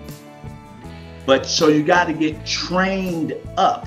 In the meantime, Jesus didn't go through it till he was 33. So he had to get trained up in the meantime. Now we can't take on the whole planet sin right? That's not our job. But for whatever it is that He has purpose for us, He needs us to work out in the meantime. And now we have to work out our faith. In fact, the scripture says, work out your salvation with fear and trembling. So he's telling you this ain't no easy workout. So you start trying to study the word and stuff like that. Like, oh, I remember the first time I started looking at the Bible back in the day, I was like, oh man, this look like this. This stuff is written in a foreign language. Man, this is it's so deep, it's so big, it's so vast. This is man, how am I ever gonna learn this thing? But now I'm 37 years in on studying the thing. And I, at one point, I was studying 10 hours a day. So it's not going to be as easy. Now, God might give it to somebody and they don't have to do the, the time I put in. and, and he can speed up their game past me. But I know that it wasn't some easy game. And so I don't even know any, I don't even have any friends that don't have the, the heart to win. I don't know nobody. None of you guys on this on this call right now that I've known every one of you, I've not known one of you to not have enough game to, to try to win at stuff. None of you. So what would make the word any any different is is all is all that's what it is. You got to work out. Yeah, that, that's a great point. And with that, uh, keep in mind the lower the lows is death, and none of us none of us are experiencing the lower the lows because we're all here on the call. So it's not death. Is there's obstacles that come along our path that we have to fight through, and there's hardships that come along, you know, that that that are really traumatic.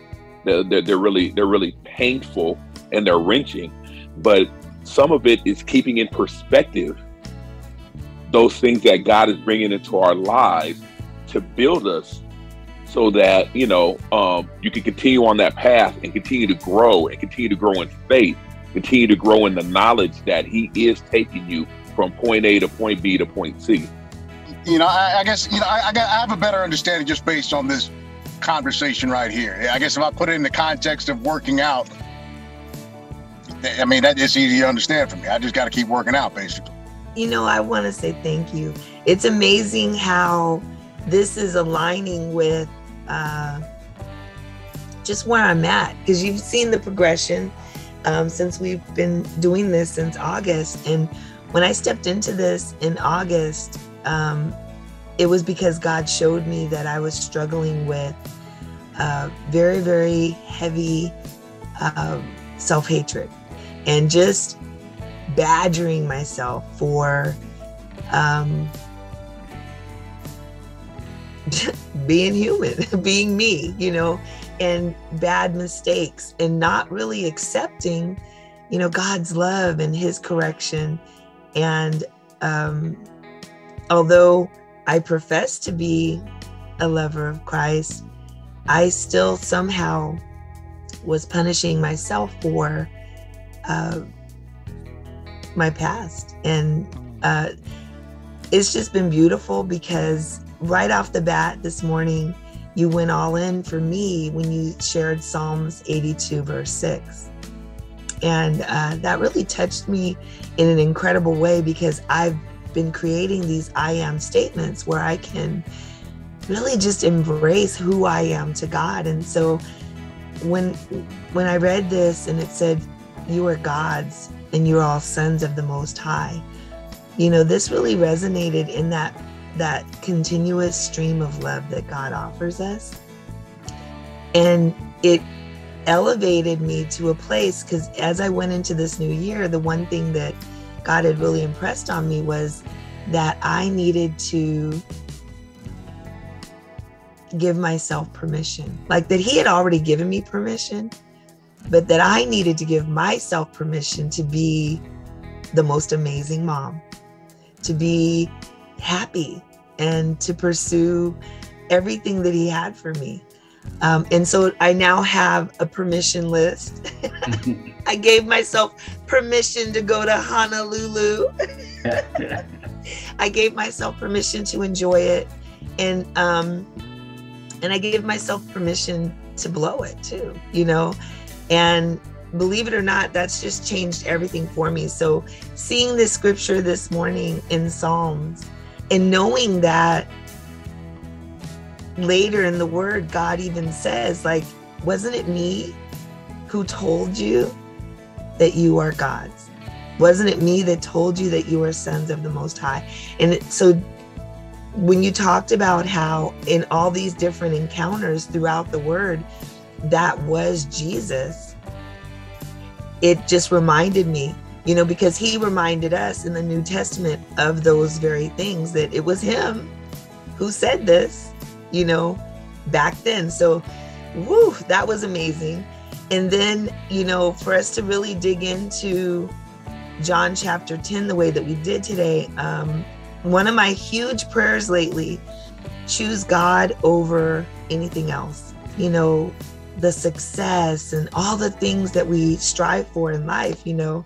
And, you know, considering that I'm striving to get to heaven, and as we read through John 10, I was like, yeah, you know, the, the best use of my time is really to figure out how to help others, you know, get this.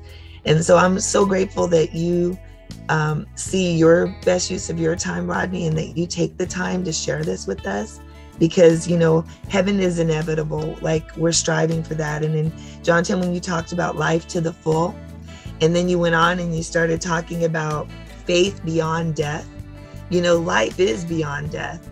And I'm just so grateful for all these things because, you know, he knows us, right? And then the question then is, you know, how do we get to know him because even Moses didn't want to do anything unless God preceded him. He's like, yeah, yeah, no, it's okay. I, I won't go unless you go. I need your presence that I would be able to walk in that. So this just really stimulated everything um, in that direction.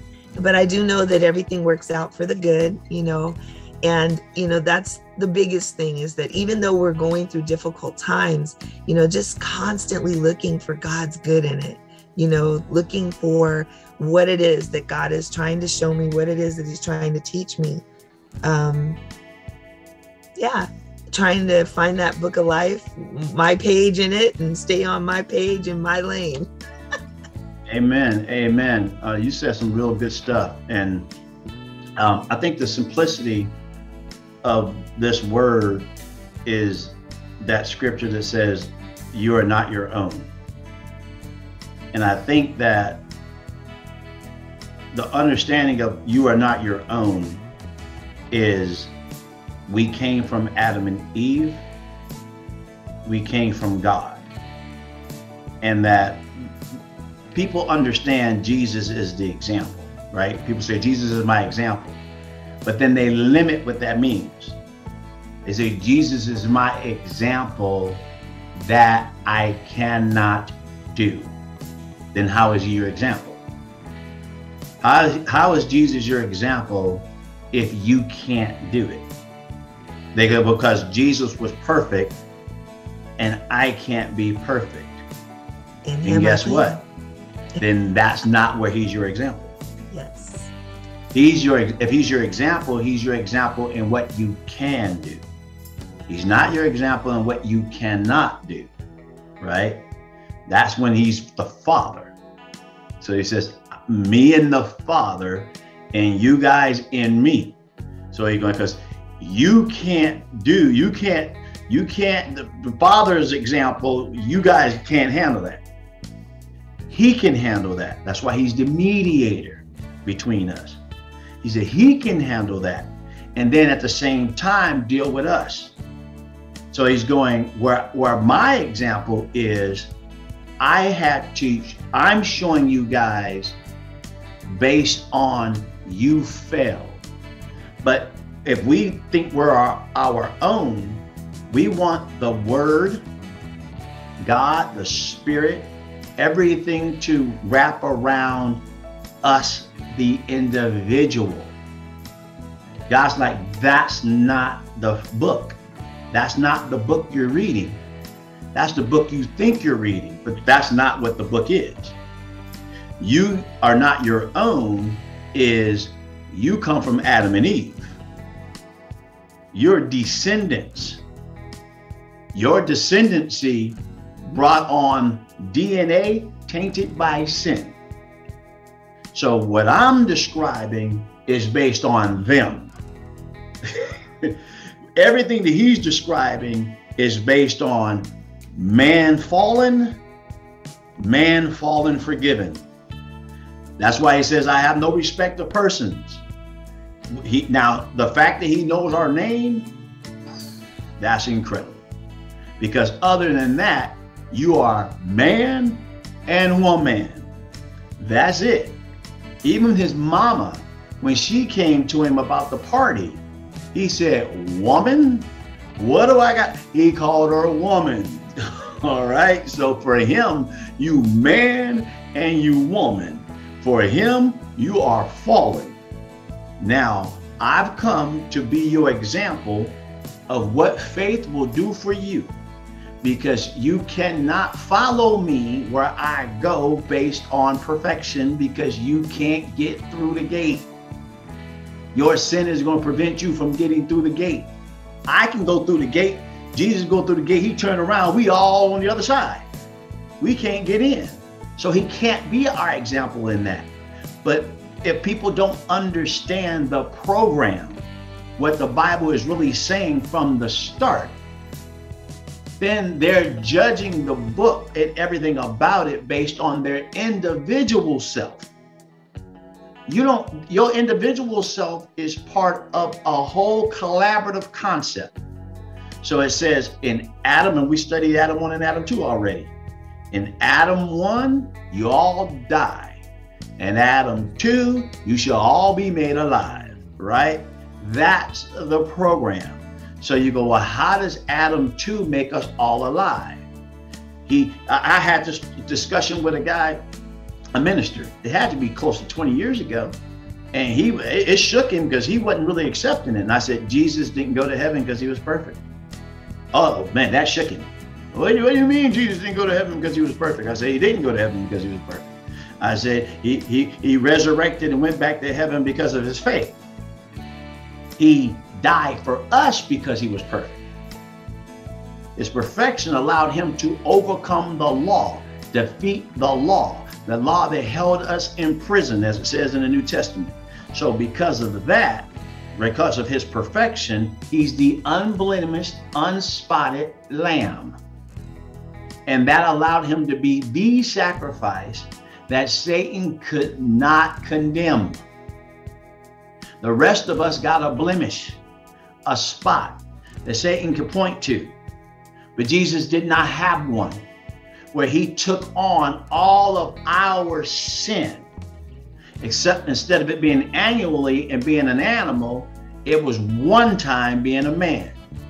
And as a result, he took all of that to the grave. Now he has the power to resurrect. So he believed in his ability to resurrect after taking on all of our sin and being separated from God because sin separates us from God. Therein is our example. And then he resurrects and ascends. So he's telling you guys, do you see now? You're God's with a little g and an S. This, I did it for you. Now, this is how you roll. That death, if you do it this way, that death no longer has supremacy over you. You will now live for eternity. You now have the tree of life. I just showed you. So it's not just saying it, he actually showed us. And so then he says to us as because we say, well, then that means, Lord, we if we're going to be credited with righteousness and therefore be deemed sinless, blessed is the man whose sin is not counted against him. Now, why am I still catching all the drama? He says, because you're still in the flesh. And that's the part that has to go.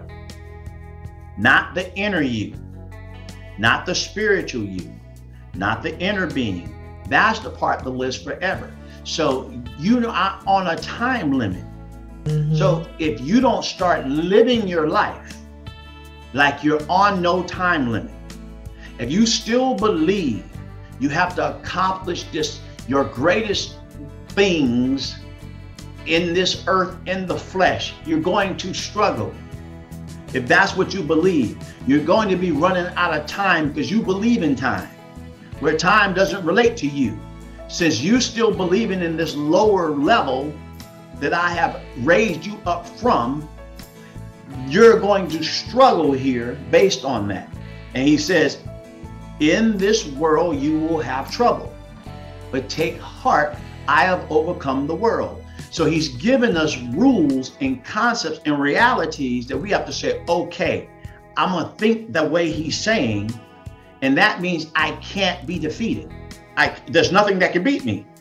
That is so prolific and so timely for me right now because you know the enemy tries to mess me up with my emotions. You know, oh, you know, I really need somebody to talk to, or, you know, they weren't really being my friend, or just, you know, stupid girl stuff, whatever. You guys may not even understand or relate to that. But what God has been showing me is like He is all that for me.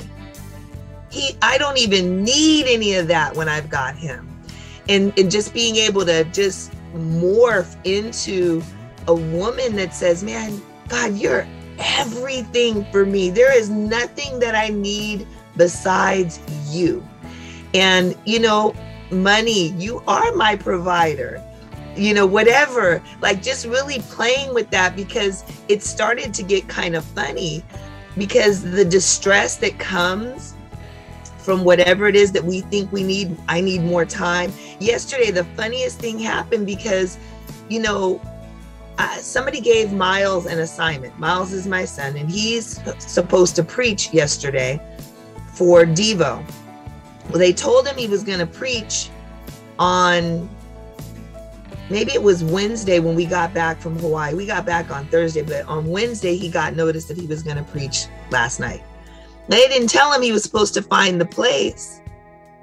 So at, you know, 10 o'clock in the morning, they're like, okay, so where are we having Devo? And I was like, Miles, when did they tell you you were? Well, you know, obviously he didn't know this. And at one o'clock, they're calling him, asking him, okay, so where's this? Where's the spot? Where are we? And I thought, you know what, God, this is okay. I'm gonna need you real quick. So we prayed, and I picked up the phone, and I kid you not, at 1:30, we were having Devo at the San Gabriel Airport. How did that happen? Who even knew we could use the San Gabriel Airport? But one of the brothers told Miles to contact Salvador. Contact Sal. Maybe he has a suggestion. So he reached out to Sal. Sal was like, "Oh, we need to do it, you know, do it in the park." But it was too cold to really do it in the park. It's gotten cold. So guess what the name of the manager of the San Gabriel Airport is? Yep, Sal, Salvador. Wait, I don't think they know what Salvador means because nobody laughed. It's okay. It was It the means name of the man. Huh? It means savior, you guys. Yes. Well, I didn't know it meant savior, so thank you for giving me the heads up. It's Amen. But we did. We we did contact Sal. You guys know Sal Velasco. But then the name of the guy at the airport, he so he really saved and man, they haven't stopped saying how amazing the place was. But I was thinking about how this angel in in the present moment, like our angel in that presence, and he saves us. It's his love and his compassion, but it's like he carries us, you know, and like you were saying, it becomes timeless because time wasn't in in my mind, in my human mind. Oh my gosh, how are we gonna do this? You know, it's one o'clock. There, you know, but you know, by two o'clock it was all locked down. They all were able to get there on time and do what they needed to do. But anyway, I hear you, bro. What you're saying is so on time for me. And I just really appreciate this. Thank you. And thank you, Jessica, for hearing. Amen. Amen. Father God, God, thank you so much for this time that uh, we've all had to spend together in your word and just uncovering layer by layer, God, um, the things that you have for us. God, your word is so deep. You are so deep. Your son Christ is so deep that uh, we cannot possibly begin to fathom. Pray that we can just develop our muscles uh, to be able to uh, work out on a continual basis. God bless uh, Rodney for putting this uh, this study together, and for and for having the heart to share with us. God for inspiring us. God bless uh, everyone on the call. God, um, I, I pray especially for Ramsey that he can that you can continue to give him discernment and to uncover uh, the beautiful truths of your word for him to inspire him to continue to work out to continue to grow. It's nothing like when you see that when you start to see those results yeah, it just makes you want to work out harder. So god uh, i pray that you show him results that will just give him make him hungrier and be able to, uh, you know, to, to, to be able to, to, to guide him in, in the direction that, that, that you have for him, God. I pray for um, uh, Stephanie, God, that you would just uh, be with her to uh, to show you to show her that uh, that she is worthy of your love, that and that you know, as your word says, how can you love uh, God if you don't love uh, you know the person? So that means that applies to self love too. God, you know, we got to be able to love ourselves uh, in our imperfections because we are made perfect in your word, God.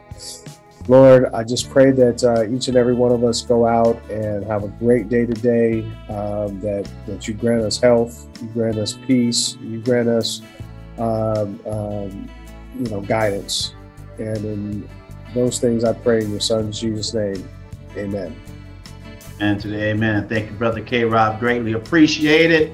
Yeah, and everybody on this call, phenomenal time, man. Uh, it's just a great thing. And as always, as we say, Trevi Trev, peace in. Peace in.